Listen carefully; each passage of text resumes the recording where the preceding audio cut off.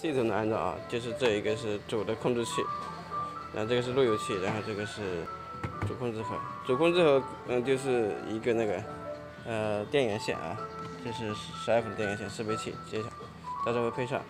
然后这个是 HDMI 线，就是连电视机的电视机的 HDMI 线。然后这个是功放音箱，有这个音箱的，就这三根线。然后这个。路由器的话，也就是一个电源线，然后网线都已经插好了，这些的 LAN 的这个，然后就是这个光标卡头，十个，一个开始，一个结束，这个是开始，是一号，然后这个是结束，六十四号，这个会贴上标签，然后这几个卡头的话，你就是随便放的，都是可以随意的。然后刷完了之后，你就是这个刷这个结束，在这边。这就有个排行榜，看时间分值。